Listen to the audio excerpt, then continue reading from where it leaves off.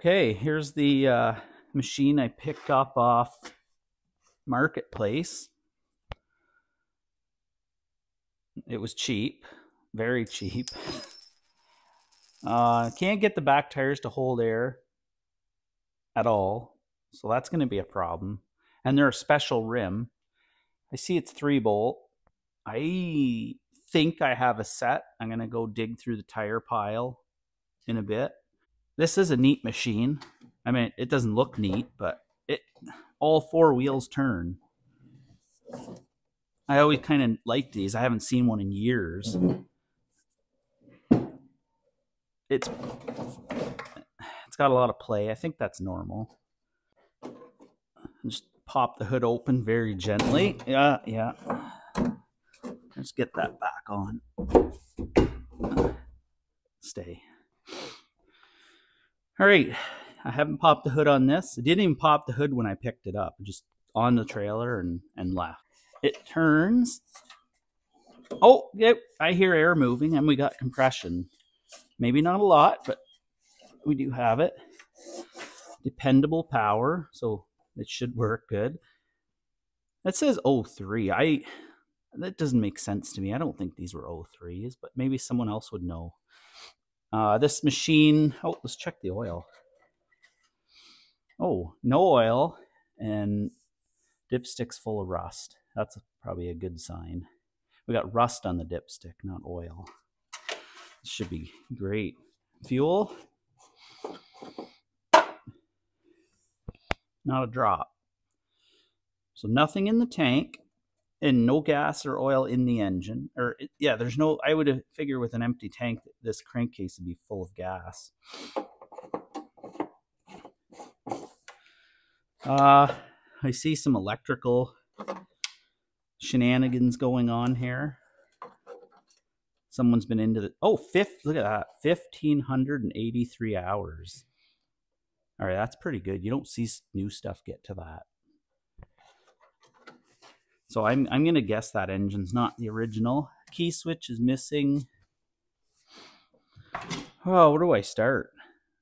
This is gonna be hard to roll around. So I think first I'm gonna go look for some tires for this machine.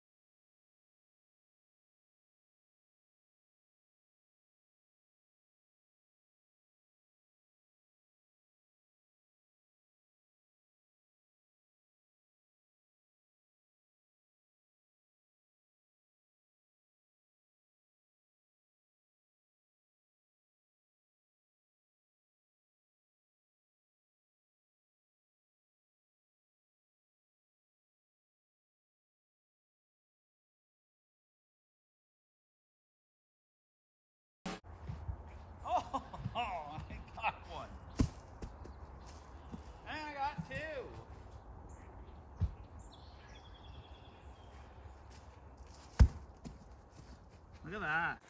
I'm a little excited. I just found two that hold air. I, I don't even believe that. I do kind of have these sorted by size, but I mean, some of these have been out here so long that the sun has just killed them. This is all the big garden tractor sizes. I mainly just keep them because of the rims. The rims can be kind of hard to come by. Very expensive also. Like, that's a 12 inch with a one inch shaft. Those are, those are pretty hard to find.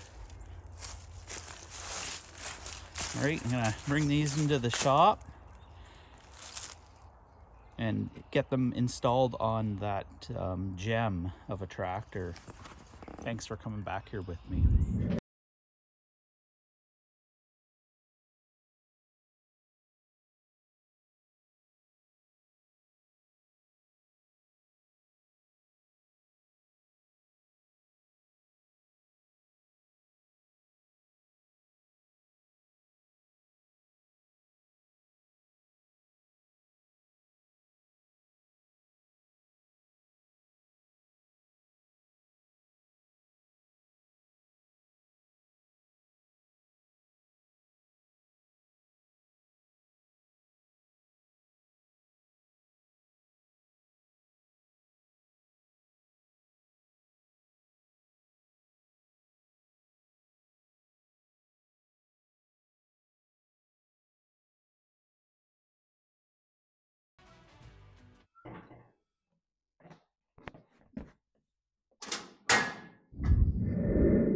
I was pretty excited to find those tires on rims out back. I thought I sold them years ago, but there was a set. They're better than the others. They leak a little bit, but it's probably a two or three day leak. So I found most of the play in my steering. It's just between this loose and that. That's an easy fix. So got no battery. I'll have to get the booster pack hooked up. I also have no key switch. Might be some electrical going on. Uh, a bag of stuff came with this, so let's go take a look through it. Here's the bag that came with this uh, mower. Uh, looks like a part number for an ignition switch is the bag. So. Good. Got a receipt for something, but a name on it. I'm not going to go through that. We got the deck hardware, headlight switch, an ignition switch, two ignition switches. That mm, I'll have to check and make sure that's the right one. Don't want to be hooking up the wrong ignition switch on a tractor. You might burn the ignition coil out. Just some random hardware, keys. Okay, manuals. It looks like the en engine manual that came with it. I wonder if that was for the replacement engine. Oh, it's always good when the tractor's um, manual is opened up to the transmission page. Like, I wonder if they were looking for something inside the transmission. That's not a good sign at all. Okay. So I I got to look up the ignition switch. Maybe it's in this book. Um, this is kind of really good. It came with the operator's manual because I don't actually know how to look up parts for these anymore. Briggs and Stratton own the rights to Murray, but any of this old stuff, I, I can't find it, or at least I don't know where to. So ignition switch, number 10, 302, 439.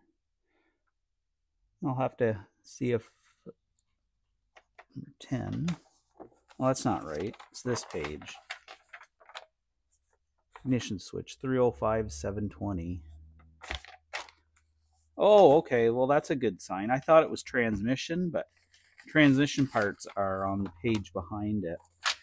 Okay, it was only opened up to that was the ignition parts list. So okay, that's a that's a good thing.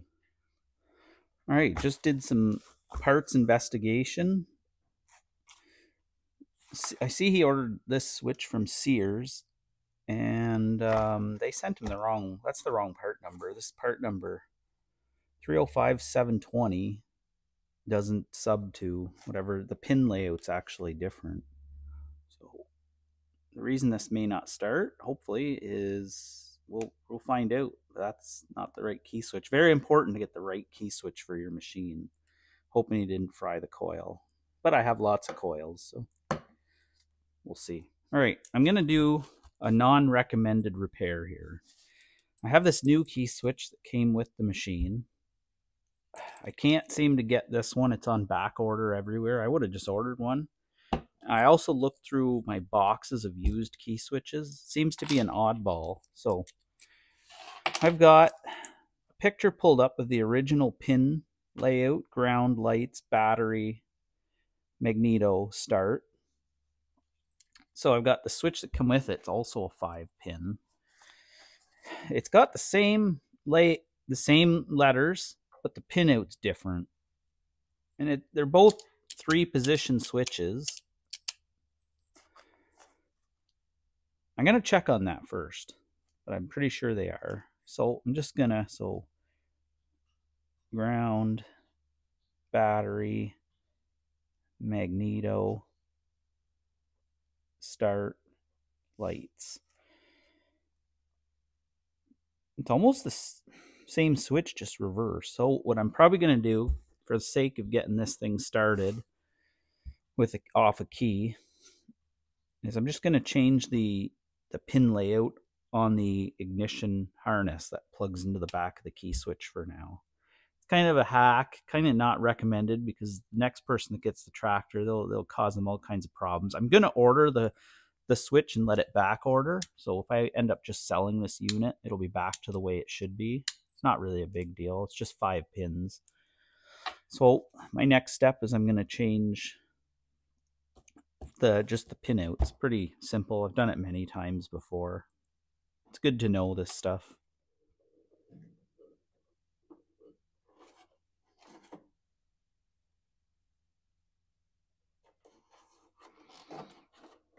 So got my picture here of the original pin layout. And I've got the harness, which I, I can't pull much further through, but and then I've got the colors. So we're to call L is blue. M is black. S, this bottom one, is yellow. Battery, which is B, is red.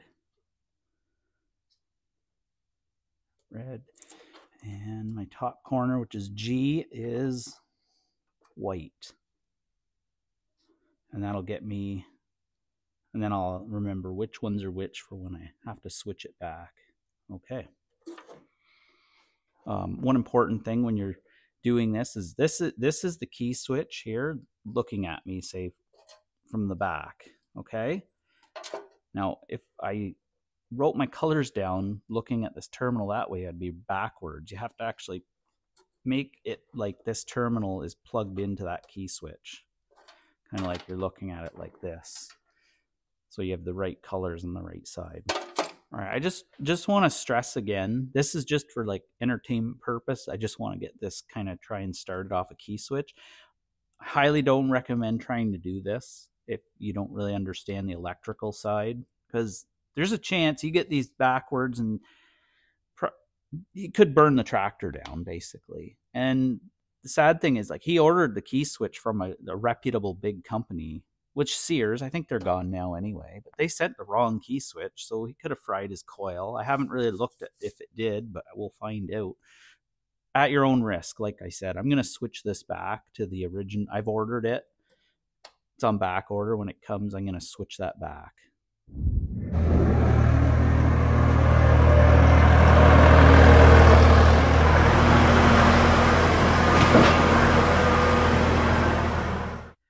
Finally got my Briggs and Stratton parts order I've been waiting for.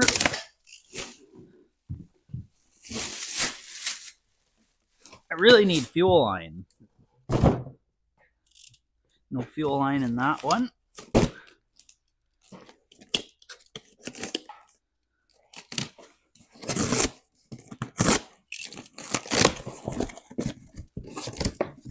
That's fuel filters, the whole thing. Broken oil filters. Not, surprised. Hopefully it's in this one. And there's fuel line. Four or five boxes of it. I need that.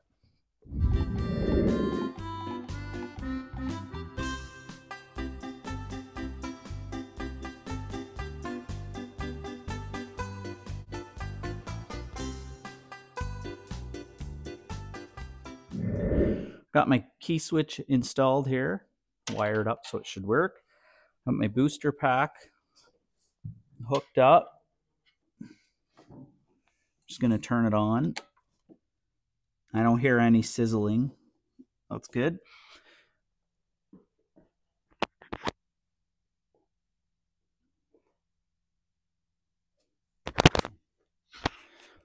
Okay, I got my parking brake set. Um, I haven't put any oil in yet, just in case this is going to be an electrical nightmare. There's a wire unhooked here. We're not really sure what that's for yet. Um, I'll put oil in once I hear it. I'm just going to give it a quick... Oh, perfect. All right, I'm going to throw some oil in that now. All right, so when we bought this, the guy was kind of frustrated. Wouldn't start. He said, I think the motor's blown up. I tried changing the oil and I ordered parts and he just couldn't get it to do anything. And I mean, he did. They're like Sears 2014. He would have had his model number. He had the book with the part number, eh, and they still sent him the wrong key switch. Like frustration. I I order parts for people all the time and like model, serial, and I would not. This would not happen. That's that's too bad. That's really too bad. Put oil in. Almost forgot. Continue with that. Thing looks thirsty.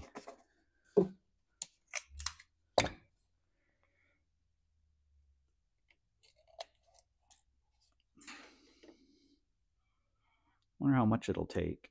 I'm gonna guess on quite a bit. Liter. Think these hold a liter and a half. Don't want to overfill these older Briggs and Strattons. The uh, oiler is it's like a fan wheel.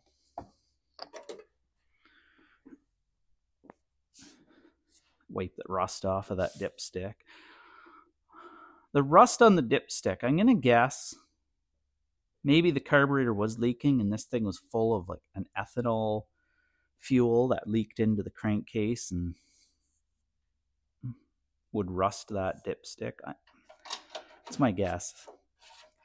I don't have high hopes for this engine lasting very long.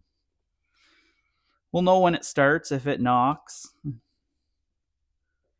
Um, you usually hear them if they're knocking.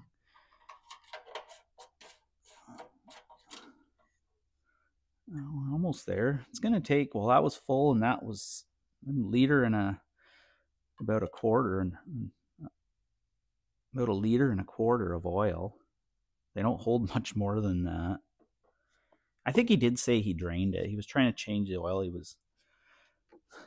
Oh yeah, that that drain plug's been mangled. So that's a good sign when you see a mangled drain plug, that means someone actually was changing the oil. When you see one come in and the drain plug looks mint, you know it's probably never been changed. Or the original oil filter that has rust on it. Actually, a guy told me once, he's like, my truck, you wouldn't believe it. The oil filter, it rusted right off. It just rusted and all the oil run out. And I said to him, you, you're supposed to change those things once in a while. Funny story. Haha. Anyway, we're good. We're just at the bottom of the crosshatch. That'll be fine for now. Okay, so I know it rolls over with the key. That's great. I'm going to probably take this hood off. I don't want to damage this nice hood. It's already broken on one side, so I need a half and a 9 sixteenths. Oh, headlight wires are not hooked up, so No, no extra springs holding that hood on. That must be just a John Deere thing. That was in a different video. All right, that off. Gonna put my hardware back in place so I don't misplace it. It's always a good habit. I'm just gonna tighten that on so it doesn't vibrate loose. Our tester here. Hook that up and give her a crank.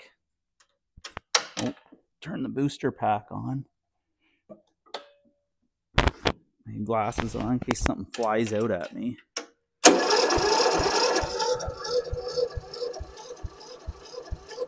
We're good. I see some spark. All right, my booster pack isn't getting a great connection. And that terminal's not great ground looks good. I'm probably going to replace that positive terminal. Won't take me long. And, uh, ooh, resettable fuse. Like, I don't have one of them. I'm just going to keep that and put a 20 amp in there. Let's get this battery installed. I found a good battery. I changed that positive connector. So I'm just going to hook this battery up, see if it cranks any better. All right, the battery's in, hooked up. It turns kind of that's getting better. There, there are some hammer marks on the starter. I don't recommend hitting these with a hammer. I, I have hit solenoids on starters, but shouldn't hit these Briggs and Stratton um, non-solenoid shift starters, break the magnets. But it's working good. I'm gonna throw some gas down it next. Just gonna get this air filter off. Totally oil soaked. No, little bit of debris in there. Okay, get some gas here out of my fancy little mustard bottle. Didn't pour out this time. Let's give her a try. Glasses.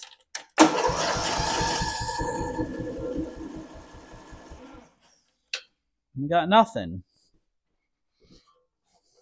Hmm. Oh, there we go. One more shot. Let me get rid of the spark tester. A little bit more fuel. Maybe it was too much fuel. Flooded it a bit.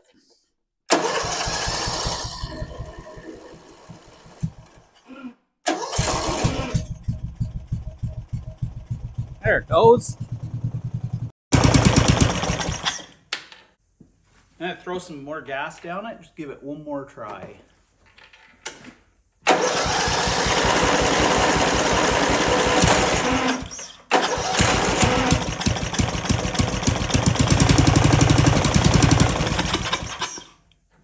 Sounds good. I don't hear any knocking yet. Okay, so it starts off the key. It'll start with fuel poured down it. Next step is probably the fuel system. Check my fuel lines aren't leaking. Probably pull that carburetor off. That might be tomorrow as I'm running out of time for today. And uh, hopefully it drives after that. All right, quick recap. I went and picked this up for 50 bucks, probably $20 in gas, not too far away. All right, so my only expense so far is my time, that used battery, one battery connector, which maybe I could have got away with just using it, the original. It was pretty crusty looking though. Um, we'll continue this hopefully tomorrow. Thank, thanks for watching. Stay tuned.